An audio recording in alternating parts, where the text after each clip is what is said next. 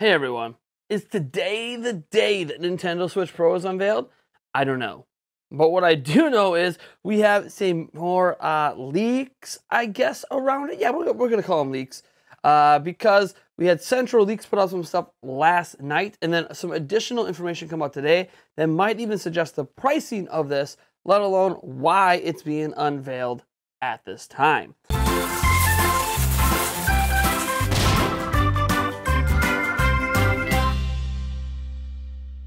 All right, so first off, let's get into the oldest of the news, uh, and that is something that was posted by Centro Leaks about 12 hours ago. Centro Leaks is well known to be one of the most popular Pokemon leaking accounts on Twitter, aka when it comes to Pokemon, they are one of the most trusted leak sources out there, over 100,000 followers.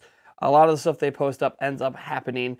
Uh, so here's something they put up, and it says We have received a verified screenshot from a big retailer's internal system that shows a new Switch hardware related listing will go live on June 4th around midnight. That's all we have for now. There's no other data or attributes in the listing right now. Then they go on to say, also worth noting that the specific listing is a non US listing from a US retailer. Should give you a hint at what retailer it is. Why they can't just come out and say it's Walmart Canada, I don't know, but it's Walmart Canada.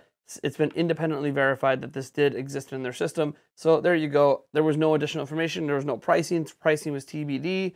Uh, and uh, the the name was just a generic kind of uh, dummy name. It had nothing to do with what you're actually going to call this thing. It's just what products that aren't announced typically have a, attached to them. So okay, cool, whatever. That's just what is happening here. But things get uh, more interesting uh, when we go beyond all of this, and that is because Samus Hunter was putting up some stuff today. Now, obviously, anything we talk about Samus Hunter is essentially a uh, not you know not not a leak but a rumor. But they linked to an interesting tweet that they responded to. We're going to get to the original tweet because it comes from Nintendo Alerts. Uh, Nintendo Alerts is just you know just one of the another one of those accounts. Uh, they cover things that happen in Europe. And what's interesting is uh, they discovered that the online retailer Boulanger actually has the Nintendo Switch Pro. It's just being dubbed the Pro right now in their back end database system at a listing of 399 euros. I find that to be very interesting, and here's some screenshots showing it. Uh, they do note that this is not visible on the site, so you will not be able to look it up. I do find it interesting that they were able to type in uh, one of the numbers uh, and find it on the site, but uh, I've, I've done the same thing. That number does not pop up, so I've tried to confirm this. Uh, it's it, but they, as I said, the listing isn't public, so how they're able to see this listing, I don't know.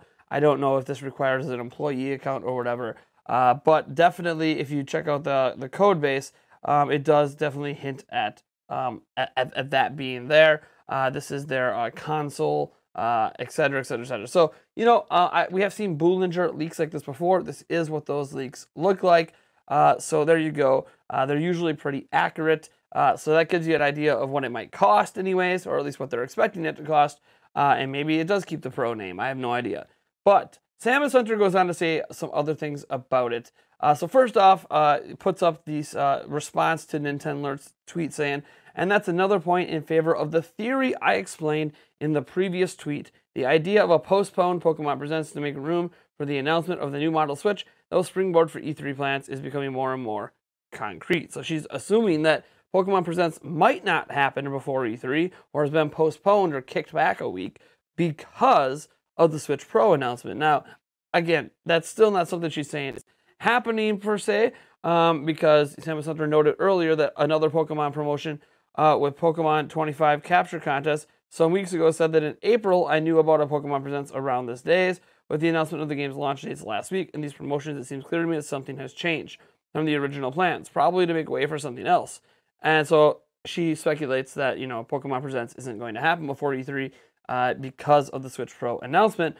But again, this is all speculation. Doesn't know, and there's still time for a Pokemon Presents. By the way, it's not out of the realm of possibility. I think the uh, release dates for games coming out are more indicative of it uh, of there being some issues uh, with this potential um, Pokemon Presents than anything. But uh, yeah, let's get into some other stuff she said. So I want to give a clear picture I knew about this presentation two months ago. So talking about the, the Pokemon one, uh, with the new Switch model reveal to happen after E3. In order to have reduced announcement and launch times, avoiding cutting into the console's current excellent sales. It is likely, however, that third party developers have pushed Nintendo in the past month to reevaluate the plans in order to present their titles in the best possible way.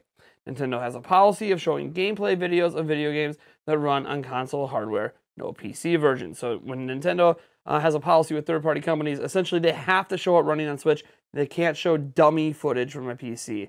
So they can't misrepresent what the game's going to look like on Switch. It's a very good policy for Nintendo. We know that misrepresentations happen all the time, but if you're seeing a Switch trailer for a game, you're seeing it running on Switch. Now it says uh, they have changed to different plans and management of announcements. This is also the reasons why all of a sudden people started talking about the console because there was a change in plans, and now bam, now everyone is talking about it behind the scenes. So again, this is not like the biggest confirmation in the world of anything. Samus Hunter is obviously giving a lot of opinions here.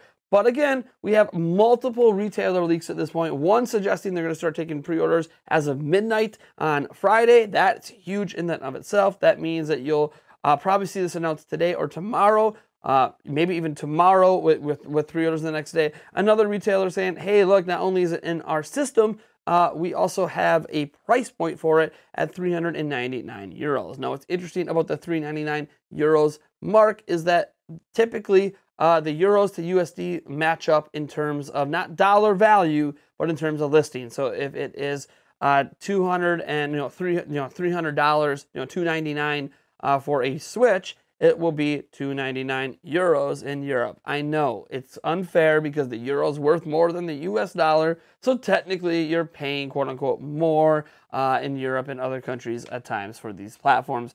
That's just the way Nintendo does it. They don't uh, they, they, don't really tailor to specific markets and charge less. Um, that's just what they do. I mean, the euro is worth more. The pound is worth more. What's Nintendo going to do? Uh, they could lower the price, but they typically don't. So I don't know. I, I find all this to be very, very fascinating and interesting as we start to build up a pathway to a reveal that we're all waiting every single day at this point. So many insiders and leakers saying it's imminent. Yeah, Bloomberg originally telling us, hey, it's happening before E3. You have uh, Nate the Hate coming out definitively on his recent podcast and saying, I know this thing is going to be revealed before E3, which suggests that he knows someone making a game for it that is aware of the uh, you know, announcement plans coming up. Of course, he doesn't know the name of it. He did note a few months ago. You heard the name Super Switch getting kicked around. It doesn't mean anything. He, he'll always say, "Here's what I've heard. Here's what I know." He seems to be very confident Switch Pro will be announced before E3. Uh, so honestly, when there is this much smoke, there is a lot of fire to associate with it. And I think that's the biggest takeaway out of all of this, including this new stuff from Centro Leaks, from clearly Walmart Canada, another one uh, from that French retailer, uh, Boulanger, behind the scenes. I mean, guys, we're at this point now where it's almost undeniable that this system is imminently going to be announced. Uh, probably this week is what it's looking like. Uh, maybe it won't be till next week. I, you know, none of us know except what Nintendo's going to do, and maybe some third parties working on games.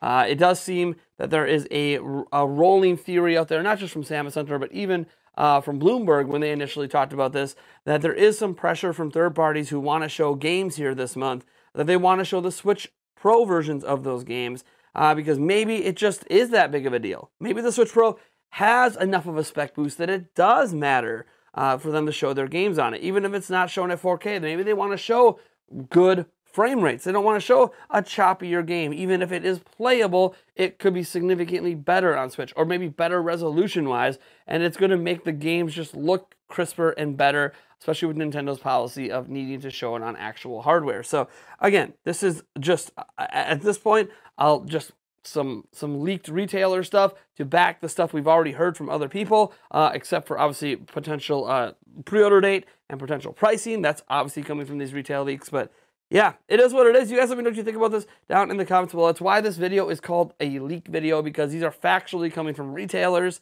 uh, whereas other stuff, you know, you can talk about like Bloomberg or uh, Samus Hunter, you can call those kind of rumors, uh, and we go into leak territory when it comes to things that you know are, are verifiable and, and and able to come from um, you know sort of these listings exist, right? This listing exists uh, exists on Boulanger in France. Uh, the listing did exist at Walmart Canada. These are things that have been independently verified. They existed. So those are leaks from those retailers. we'll have to see what it all amounts to here. Hopefully soon. 24 hours? 48 hours? I don't know, but hopefully soon. All right, folks.